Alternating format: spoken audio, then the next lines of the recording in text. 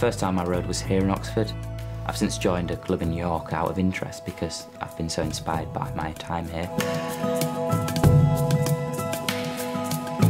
It's brilliant fun.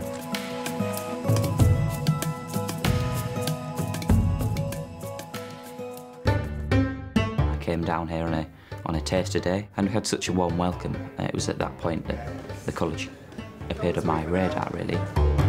Mansfield was the first college we visited and I really liked the look of it and I liked how accessible and open it seemed. They're very good here look at sort of looking past the surface level and realising that you know, just because they're nervous does not mean they couldn't live up to an Oxford degree and uh, I stand here as a product of that. It has a really strong personal sort of ethos. It's the smallest college in Oxford in terms of number of undergraduates, so we have about 200. I know the name of every single person in my year, I know what subject they do, I know them to see, I can say hi. Um, it's brilliant.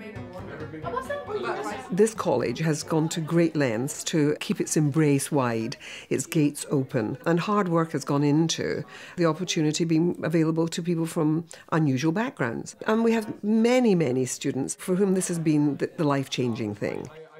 I love being with the students. They are the joy of it, and for me, that's, that's our future. But we have to make it great for them. They have to have good facilities. It mustn't be different for my students, for how it is for the students at, at the perhaps richer colleges. I really put my mind to that. First off was to have better kitchens, better opportunities for going for coffees and having nice lunches and being on site and being able to provide that for bigger numbers so that that brings revenues into the college. I've got a very clear mind on um, making sure that this college survives and, and is sustained into the future.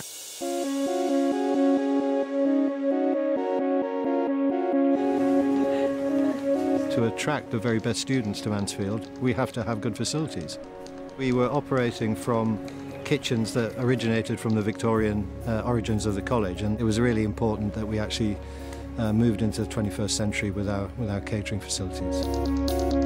Now we can serve up to 150 in the chapel, a further 80 or 90 in our dining hall, and we have our downstairs cafe area as well. So we, we have multiple options in terms of feeding conferences, students and our fellows as well. Oh, it's fantastic. It'll make a huge, huge addition to the student experience here.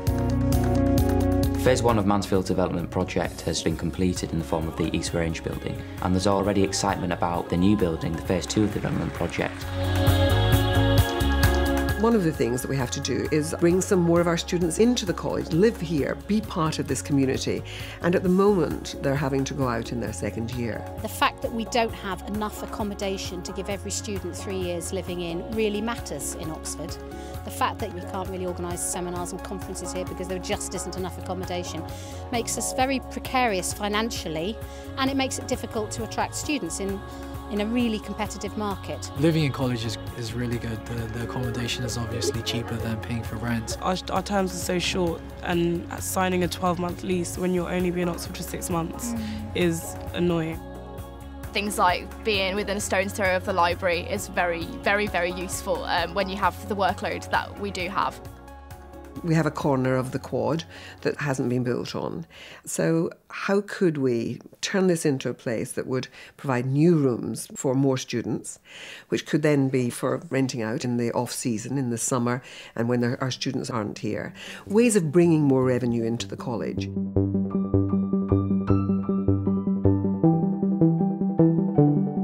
The Love Lane building will occupy the southeast corner of the quad. It will have an auditorium which can be quickly adapted for different purposes and some much needed seminar rooms. Most important of all, there'll be 78 new ensuite bedrooms, increasing Mansfield's student accommodation by 75%. It, it will be an exemplary um, sustainable building. It will be a, probably the greenest building in Oxford when it's constructed and completed. Very sympathetic to its surroundings. It probably doubles our capacity for, for holding you know, significant conferences. We will have rooms of a standard that, that matches anywhere else in Oxford. And that's really important to us. The, the net addition to our income will be very significant. They make it like it's a shield. The tutorial system costs a great deal. We believe that it's important, we believe that educationally it's crucial, but that comes with a cost. And so, one of the great things about the new building is that it will provide an additional revenue stream for the college that will help to maintain and sustain that process. We have a lot to offer students who, who might find applying to Oxford slightly nerve-wracking but are really smart. A lot of people don't feel like they can apply to Oxford. I certainly had a lot of friends in my school who easily had the grades but just didn't want, didn't apply, they didn't think it'd be right for them. And by showing them around Oxford, you give them a chance to see that, you know, maybe it could be. The new building will help us because that brings income into the college which we can use. Part of that we would use for doing access work to encourage more people to apply to Oxford and to Mansfield in particular.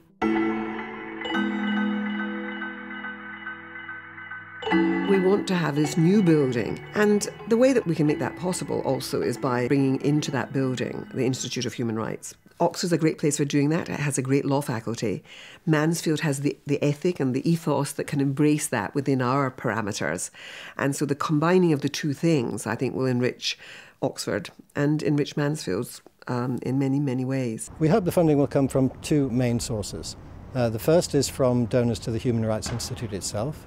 These are individuals and foundations uh, who are committed to the furtherance of human rights around the world and see this institute as a key part of that.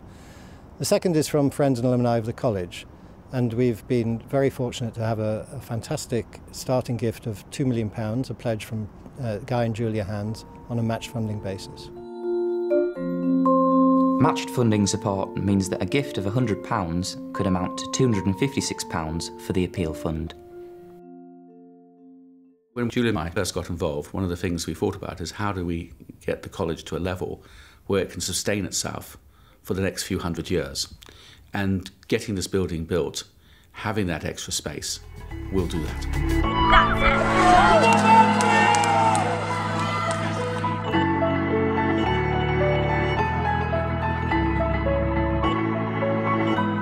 Think the impact of the new buildings and the landscaping will be extraordinary.